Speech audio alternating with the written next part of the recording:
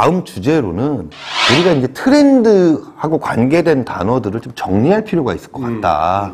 fad도 있고요. 제가 좀 공부를 좀 했더니요. micro trend. micro trend. micro trend는 수시로 보여지는 어떤 현상들. 그 다음에 fad. 대략적으로 1년 정도가 유지되는 현상. 우리가 지금 알- 말하는 트렌드는 3에서 5년 정도 지속되는 걸 트렌드라고 하더라고요. 그 다음에 10년이 mega trend. 그 다음에 30년 동안 이게 만약에 된다? culture. 하나의 문화가 되는 거죠. 사실 이거대로 보면요. 트렌드 코리아 2018 하면 안 돼요. fad 코리아 2018 이렇게 해야 됩니다. 매년 매년 하는 건 사실 fad에 해당된다고 사실 볼 수 있습니다. 이게 학자마다 달라요. 보통 어떻게 하냐면 지금 말씀하신 대로 fad, 트렌드, mega trend, culture 이렇게 네 개로 나누는 게좀 좀 많이 보이고요. 또 약간 좀 까칠한 학자들은 거기에 패션, vogue 이런 개념도 집어넣어요. fad는 한때 유행했으나 사라진 거, fad. 사라지진 않았지만 곧 사라질 것, vogue. 특정 집단, 다수가 아닌 특정 집단 말을 그래도 꾸준히 하는 건 패션. 사람마다 다 달라요. 그거를 지속 기간으로 볼 수도 있고, 횡으로 쭉 보면 지금부터 1년, 2년, 3년, 4년, 5년 이렇게 나누면 그게 길게 되면 뭐고 이렇게 볼 수도 있지만 종으로 특정 시점을 잘라서 볼 경우에는 그 얼마나 많은 사람이 하고 있느냐. 어, 횡으로 보면 시간의 흐름이지만 종으로 보면 그 특정 시점 때 사람들의 비중이라고 할까요? 사람들이 그걸 하, 하고 있느냐. 이럴 때마다 좀 마케팅이든 뭐 경영에서 늘 쓰이는 게 로저스의 diffusion curve 나오고 하는 거예요. 그게 잘난 척하지 마시고 좀 영어로 뭐 좀 하죠. 확산 곡선. 그렇죠. 새끼야, 확산 이 곡선. 모자랑 비슷한 거죠. 이거 어, 어, 어. 어린 왕자에 나오는 보아구렁이 통계학에 나오는 이렇게 돼이 있는 거. 정규 분포 곡선 그게 어떤 의미냐면 평균을 놓고 표준화시키면 각각의 관찰값이 평균으로부터 떨어진 거리의 평균을 뜻하는 말을 혹시 아시나?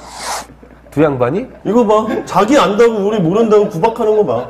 이 시청자에 대한 태도가 이러세요. 그게 표준 편차라는 거라고요. 쉽게 얘기하면 표준 저는 편차를 박수예요, 박수. 박사 과정 수료예요. 사실 우리 셋 중에 가장 학력이 높은 건 우리 서박수고.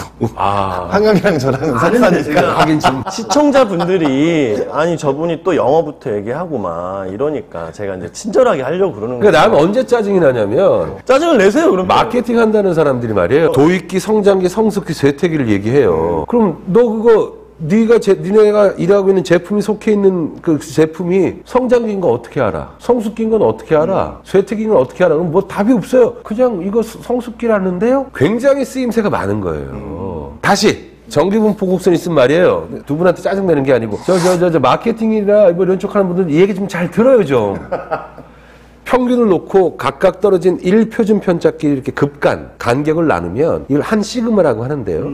평균을 기준으로 이렇게 나눠지잖아요. 그게 어떻게 되냐면 면적, 개념으로 나눠져요. 이렇게 했을 때 가장 끝단에 있는 조금 2.5%가 있고, 그 다음에 13.5%가 있고, 중간을 놓고 여기 33.333이니까 34%예요. 대칭이니까 34%가 있고, 13.5, 2.5 합치면 16%가 있는 거예요. 이거를 가지고 우리가 많이 쓰는 게 1번 PLC예요. Product Life Cycle이에요.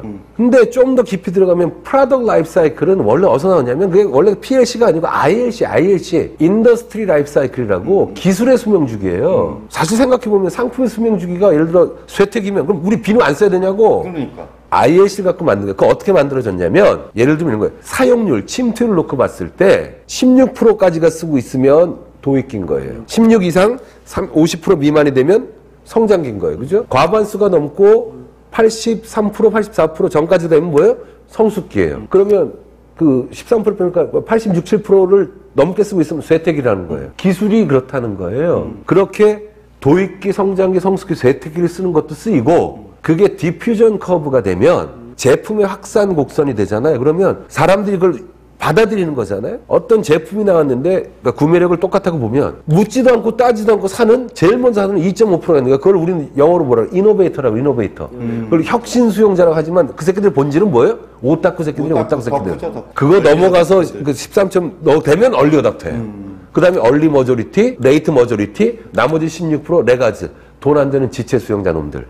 이렇게 쓰이는 거거든요. 그래서 이 트렌드 용어도 이 얼만큼 퍼져 있느냐로 볼 수도 있어요. 그러니까 시간의 흐름으로 쪼갤 수도 있지만 동시대에 얼마나 많은 사람들에게 그렇죠. 침투되어 있는지로도 볼수 있다. 크게 네 가지 나누면 예를 들어서 fad 트렌드, mega trend, culture라고 놓고 보면 그 틀로 보면 도입기, 성장기, 성숙기, 쇠퇴기로 치환해서 봐도 돼요. 쓸만한 사람들이 100인데 그 중에 16% 정도까지만 쓰고 있더라. 그럼 뭐겠어요? 그럼 fad지. 더 이상 쓰면 트렌드, mega trend, culture 이렇게 나눌 수도 있고요.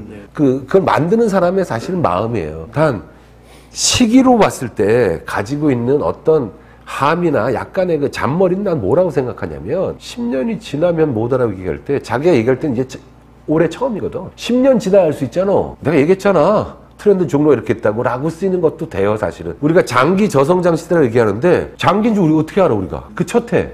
10년 지났더니 장기인 거지. 그러니까 뭐 이게 그러니까 깐다는 뜻이 아니라 실컷 까놓고 이런다. 아 까요 까요 까요. 저는 대신에 제가 황 형한테 숙제를 냈는데 하셨는지 제가 검사를 해야겠어요. 트렌드와 패드. 트렌드는 한마디로 뭐고 패드는 한마디로 뭡니까? 그 좀 정의 좀 내려주십시오. 혹은 딱 쉽게 안 하면 좀 쪽팔릴 것 같은데 트렌드. fad 뭘 굳이 내가 이것까지 fad. 하이파이브 하시죠 라고 저는 봐요. 좋아 이런 거 좋아 좀 목소리 크게 해주지. 자신감이 없어서 숙제를 안 하셨거든. 지금 지금 즉시적으로 어, 즉흥적으로 하신 거거든. 숙제 되게 안 하셔. 약간 게을르더라고 보니까. 많이 그랬어요 천재들이 약간 게으른데요? 윤대협 스타일이냐고. 음. 저번에 슬램덩크 유튜브 생방송에서 본인이 어떤 캐릭터에 가깝냐고 했더니 윤대협이래. 얼굴 빼고라고 해서 얼굴 빼고. 와 이거 빼고? 이거 빼고 이거 빼고? 자, 우리가 이제 이 윤대협을 모르는 사람이 있을 수도 있으니까 슬램덩크에 나오죠. 강백호가 처음 만난 치- 진정한 천재죠. 어, 안 하는 것 같은데 게임팀은 미치게 잘하는 스타일.